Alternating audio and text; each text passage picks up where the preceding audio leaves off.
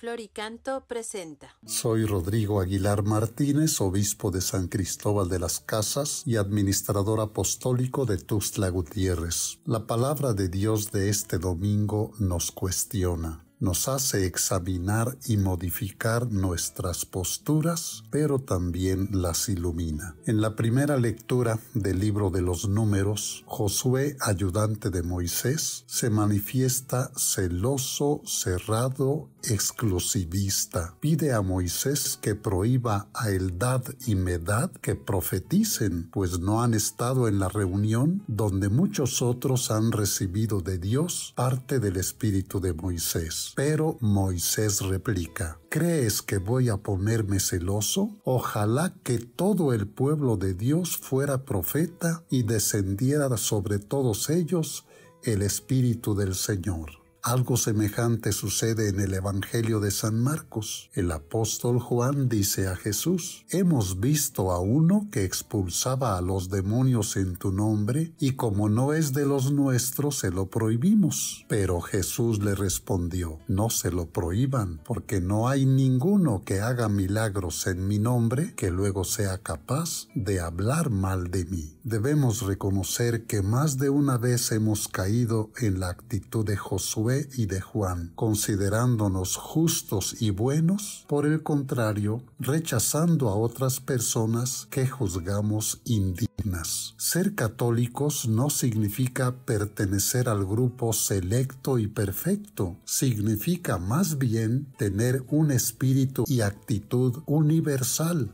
en búsqueda de unidad. Puede haber católicos solo de nombre, pero que no están en comunión con Cristo, y en cambio puede haber no católicos que obren milagros en nombre de Cristo.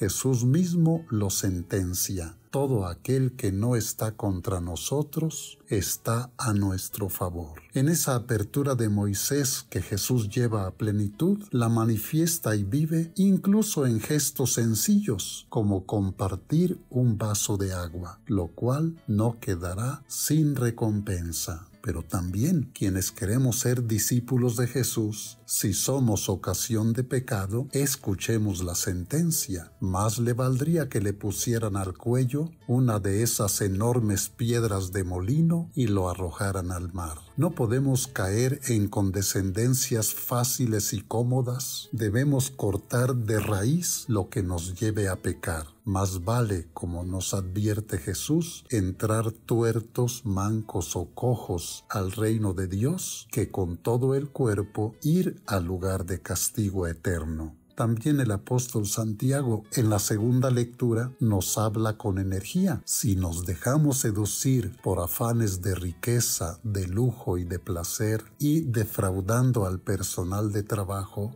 estamos engordando como reces para el día de la matanza. La palabra de Dios es fuerte, pero como una llamada a la conversión.